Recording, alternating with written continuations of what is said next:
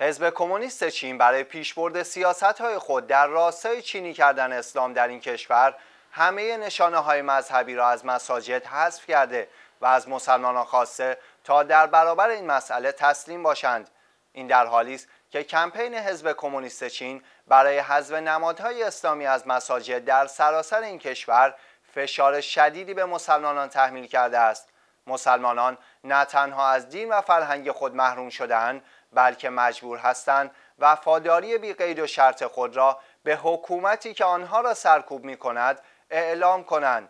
در اواخر ماه مارس به دستور دولت محلی گنبدها و نمادهای اسلامی از 17 مسجد در پینگلیانگ در ایالت گانسو تخریب شدند.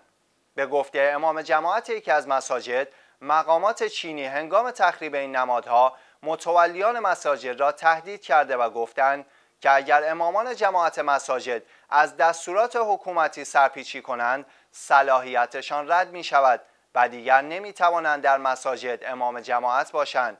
ایالت مرکزی هنان که بیش از یک میلیون مسلمان در آن زندگی می کنند یکی از مهمترین اهداف برای چینی کردن اسلام است و نمادهای اسلامی در این منطقه هر روز از مساجد حذف می شوند.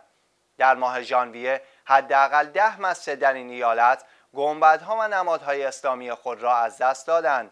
در ماه دسامبر گذشته نیز مقامات منگژو در ایالت هنان یکی از متولیان مساجد را وادار به برداشتن نمادهای اسلامی از مسجد خود کرده و او را تهدید به دستگیری در صورت مقاومت در مقابل این خواسته کردند.